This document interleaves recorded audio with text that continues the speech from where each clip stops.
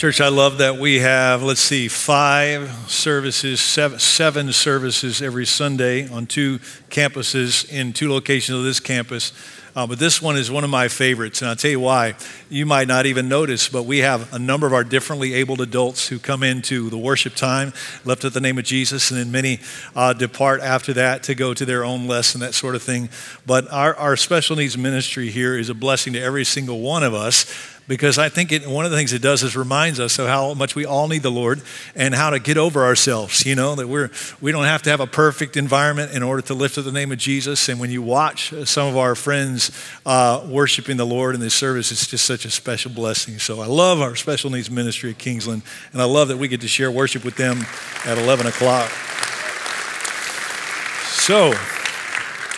Uh, some of you know last month, Lana and I had the opportunity to travel to Scotland, and that was because of your kindness. You sent us there to celebrate our 10th anniversary uh, here at Kingsland, and we had a great time. On the last uh, couple days, we made a, a, decision to adjust our plans a little bit. Lana went home as planned on the day we were going to travel, and I just spent one extra day where I adjusted the plans to go uh, across to Belgium to visit and encourage a friend who's living over there. And so I made a, a last minute uh, plane ticket purchase uh, with one of the regional airlines there, just looking for the cheapest ticket. And I found one, and uh, it was like, I don't know what it was, but it was like $200 more for business class. Well, I wasn't going to do that, but I was curious because when they assigned me the ticket, it was row two. I thought, row two, but there's a business class. Maybe they, they have rows A through E or something in business class. Who knows? It was just odd. So when I got on the plane, I was surprised to see that actually, no, I was literally on row two. Like there's the door, then there's the front row, and then I'm sitting there. And sure enough, there was a business class, but the people in business class were just row one. They had the exact same amount of leg room as me, same seats and everything, but they did have this placard that demonstrated that they were in business class. And I just wondered if these people were especially put out that they dropped an extra $200. So either they had, uh, they had some money burning a hole in their pockets or they'd made some really bad assumptions. And so, what I want to talk about today has to do with worldview and some of the really bad assumptions that people are making today about God and Christianity and the Bible that are so prevalent sometimes we think, well, is that true? True or am I crazy? And the cost of getting these assumptions wrong is a lot worse than the difference in price between uh, coach and business class. And so Paul talks about these in the scripture, and that's what we're going to look about to look at today. Is belief in Christianity reasonable? Is, is atheism really the option of the intelligence uh, community? Well, I, I, said intelligent community, not intelligence community, like spies or atheists. That's not what I mean. Um, Paul's answering some of those same questions in Romans. Would you turn in your Bibles to Romans chapter 1?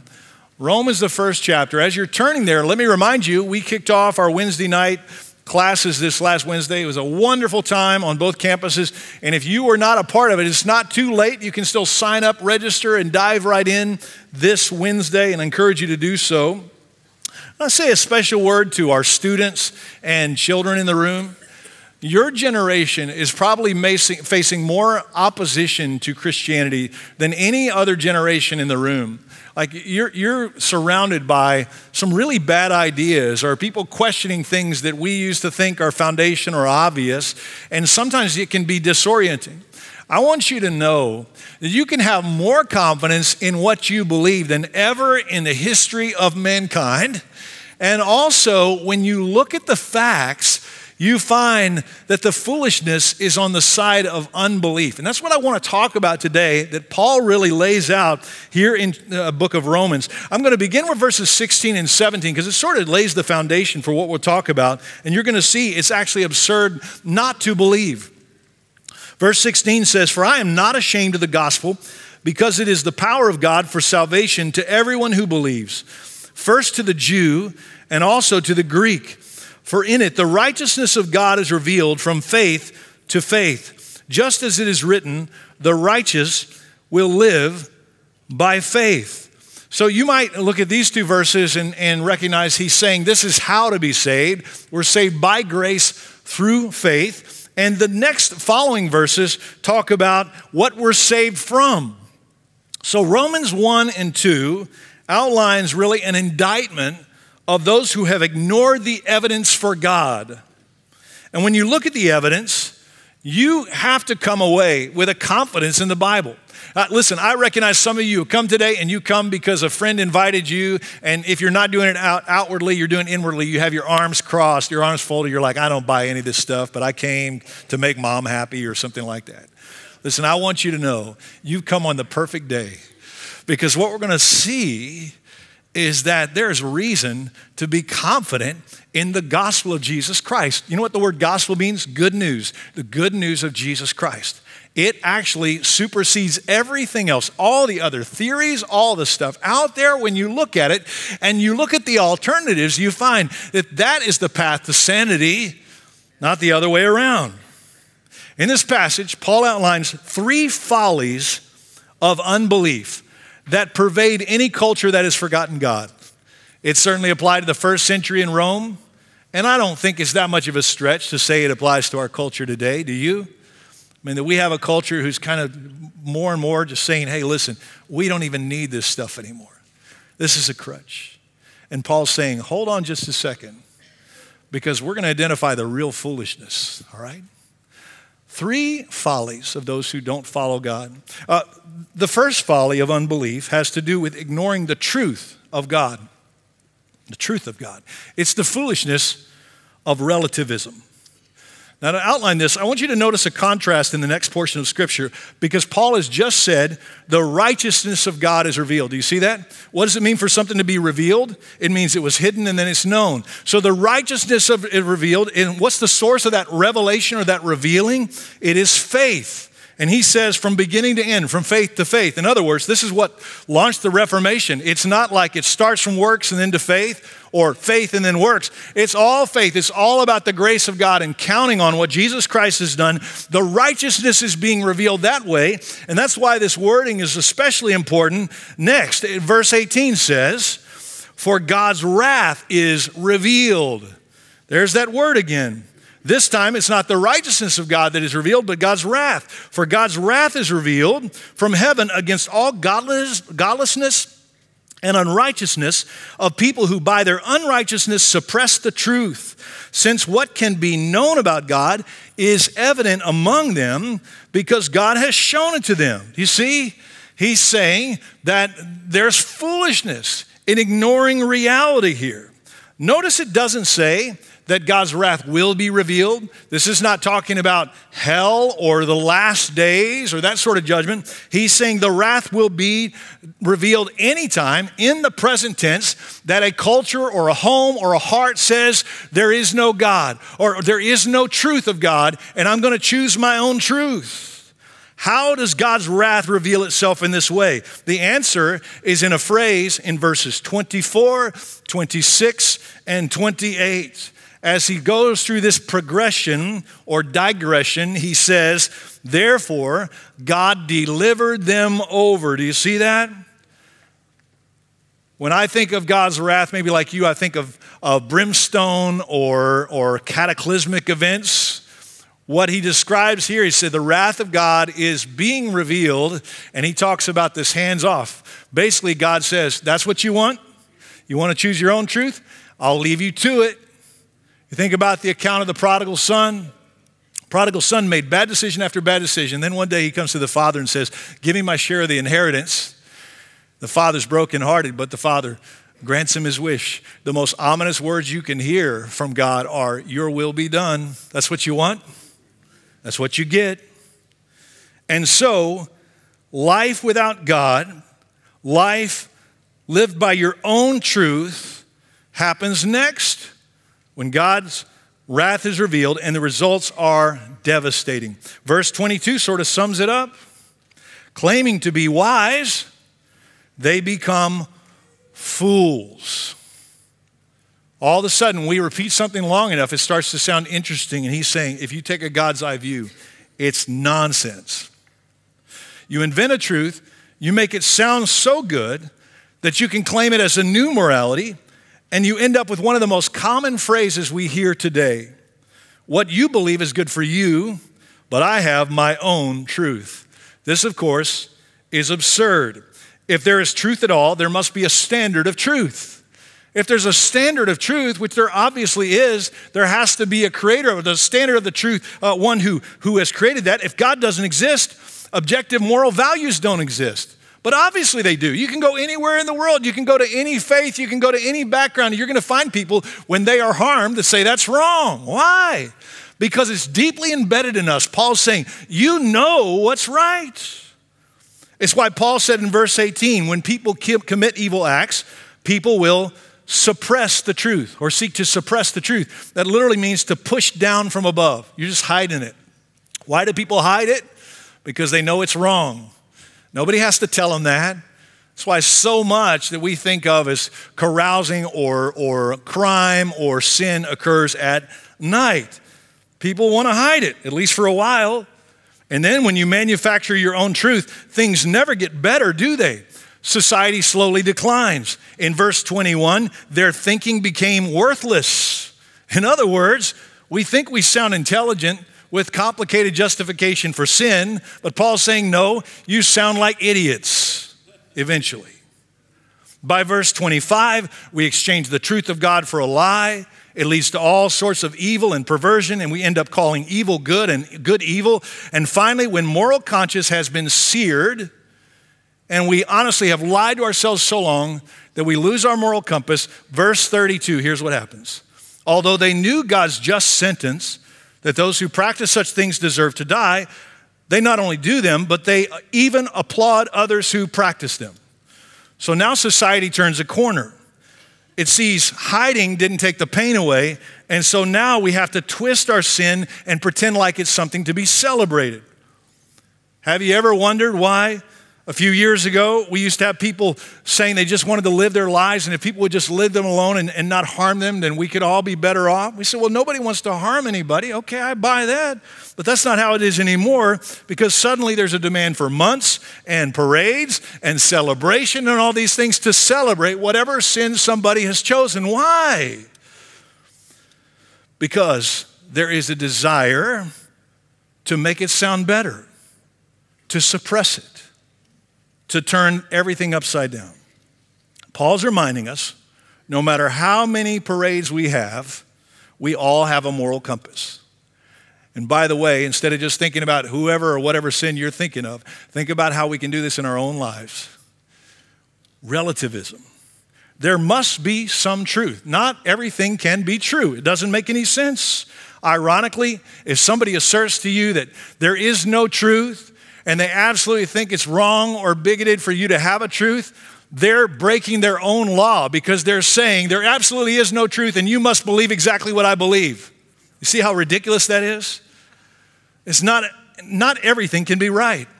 In logic, we call this the law of non contradiction. Two contradictory statements cannot both be true in the same sense at the same time. So it, you don't get to choose without being really intellectually lazy. You don't get to choose none of the above. I don't believe any of this stuff. And you can't choose all the above. Oh, I just choose all this stuff. No, you can't.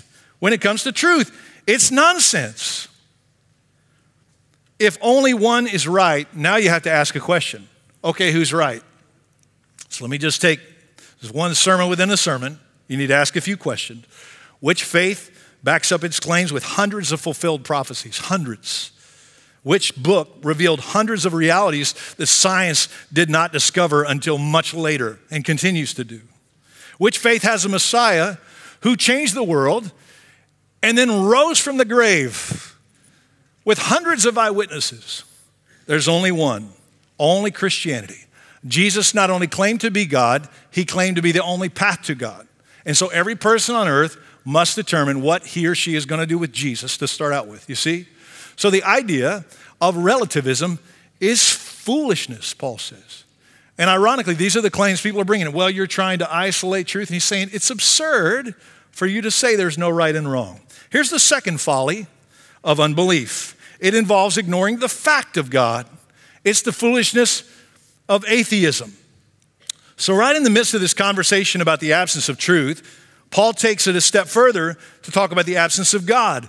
And he's implying that ignoring truth will eventually lead to ignoring the fact of God.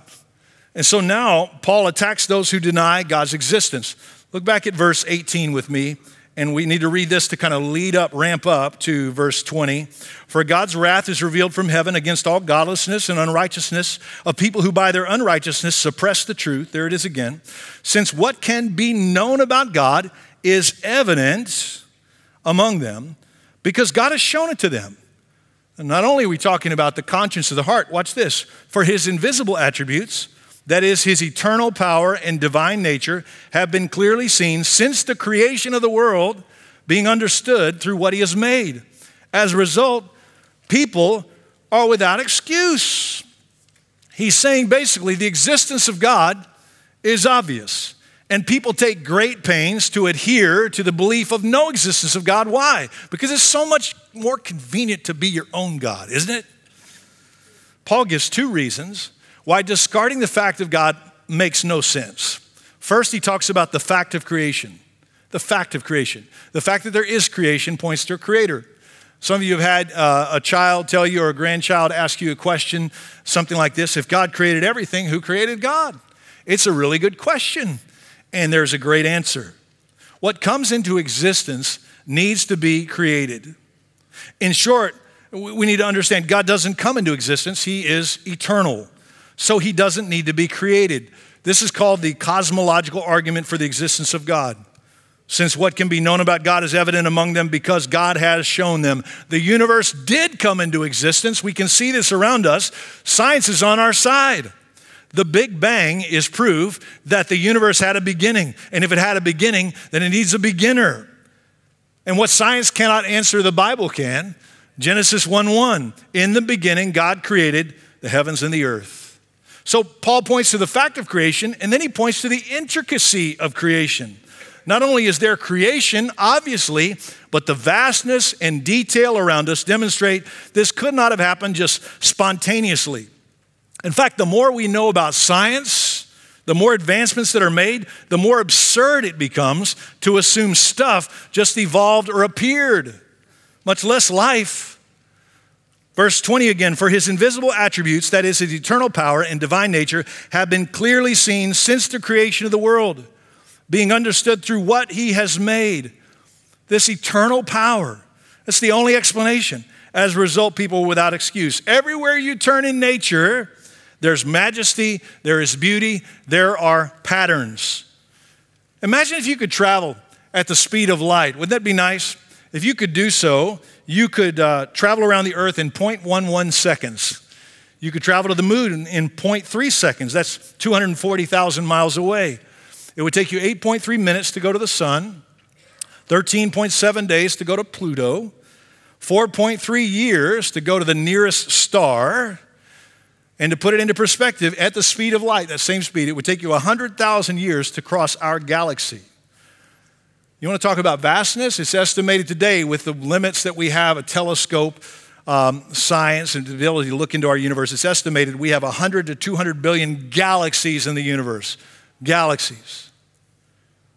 Isaiah 40, verse 12 Who has measured the waters in the hollow of his hand or marked off the heavens with the span of his hand? Who has gathered the dust of the earth in a measure or weighed the mountains on a balance and the hills on the scales? I love that passage because it talks about the span of his hand, the palm of God's hand. He's measuring this. It's no big deal to God. This is the majesty of our Creator, and everywhere we look, that's what we see. And of course, we not only see the vastness, but we see the detail.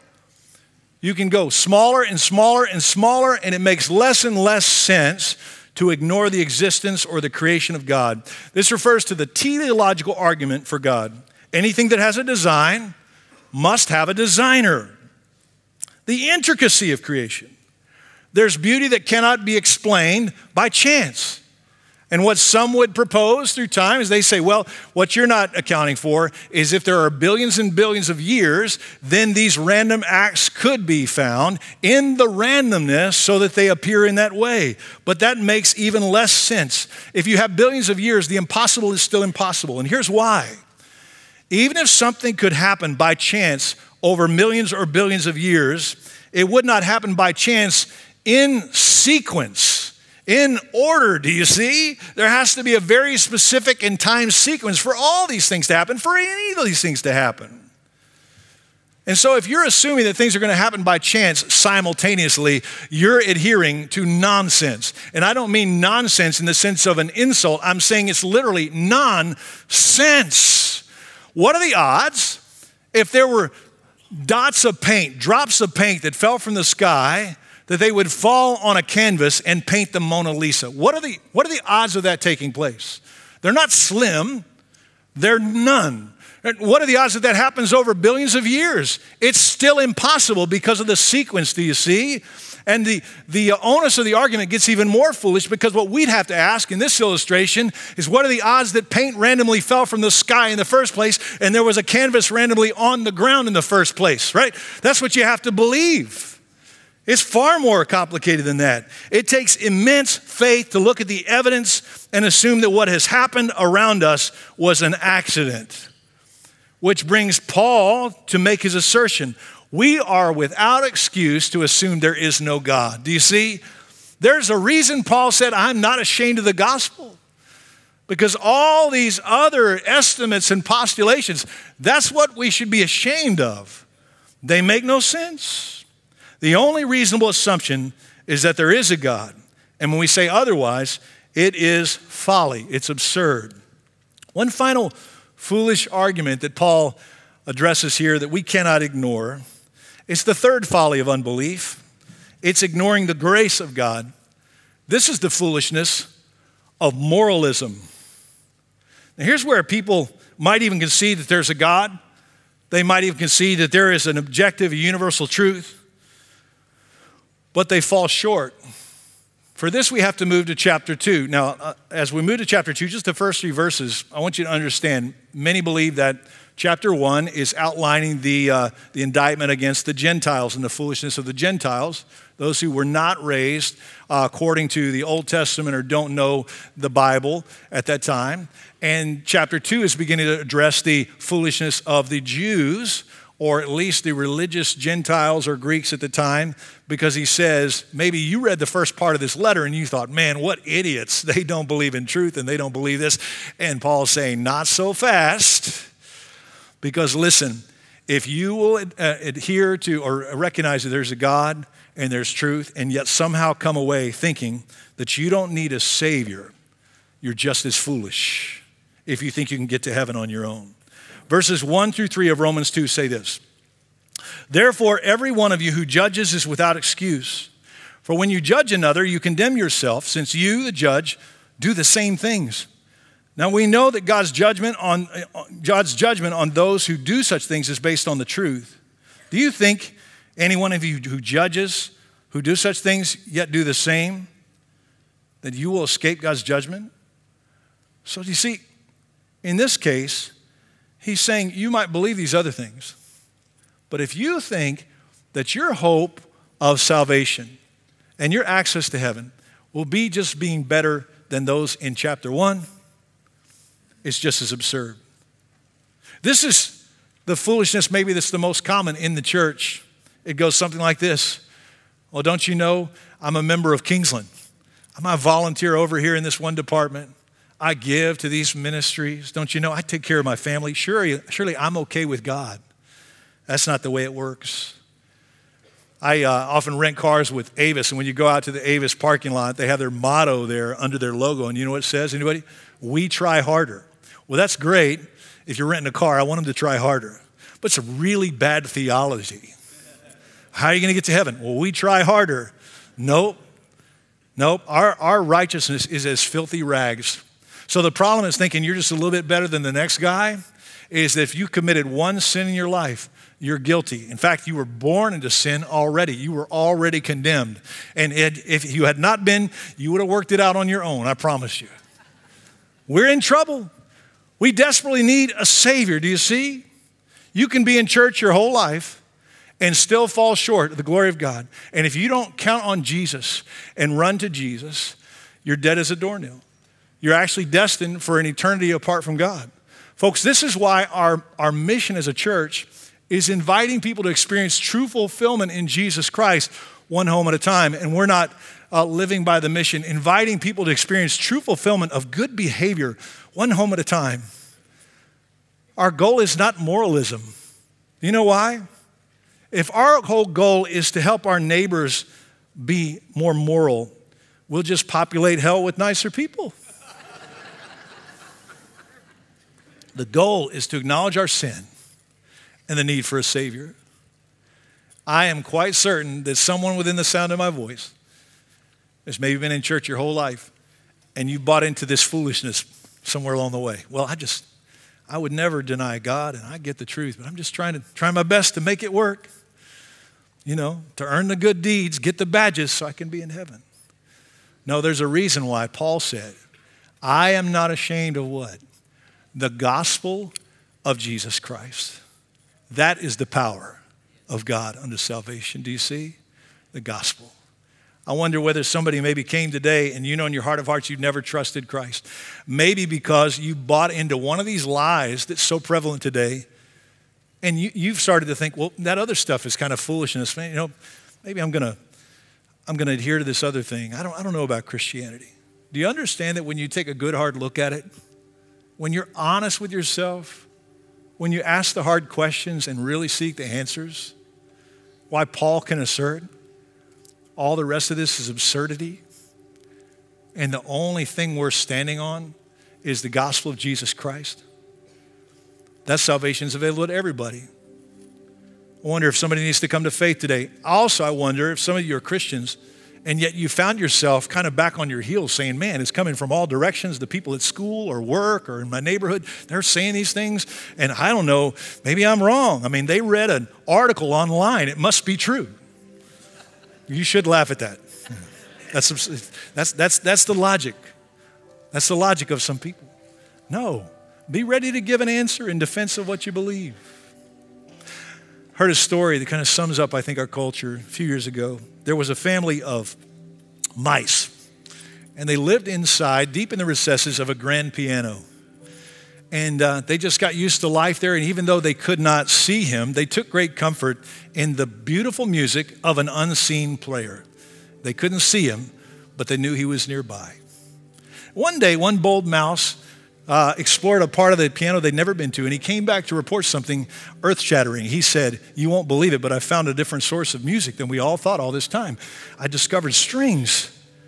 They don't come from, the music doesn't come from an unseen player, it comes from some strings just above us. We don't have to believe in an unseen player at all. As time went on, there were other explorers who'd go out and they'd come back with more information about hammers that were beating on the strings or the vibration of the strings that were causing all these things. And we can have faith in mechanics and all these things. There's no reason to have the crutch of the unseen player anymore. And yet, even as they postulated and theorized and came up with all these ideas, the reality was the unseen player continued to play, regardless of these theories. That's exactly where we find ourselves, folks.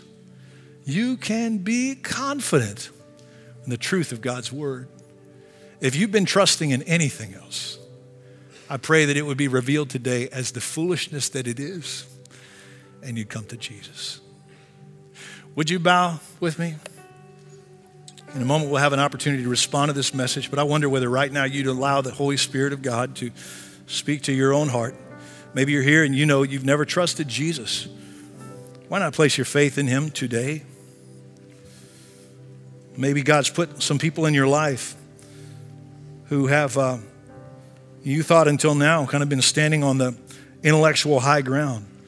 And it's time to go back and have some honest conversations, not debates, but good discussions to ask the hard questions of them right back and invite them to know the Jesus that you know. Heavenly Father, thank you for the power of your word. I pray, Lord, that you'd move us to decision now. I ask this, Lord, in Christ's name. Amen. Hey, Pastor Ryan Rush here, and I just want to thank you for being with us at Kingsland Online today. What an honor! But I'll tell you what, it'd be even better. We'd love to see you get connected with the physical church in the days ahead if you haven't already. And that means maybe if you're local in the West Houston area, we'd love to see you at Kingsland. Otherwise, regardless, we'd love to help you facilitate uh, jumping into a local church near you, and we can do that together. You can go to kingsland.org slash online connect. Kingsland.org slash online connect to find out next steps on your journey. Listen, thanks again for being with us today at Kingsland Online.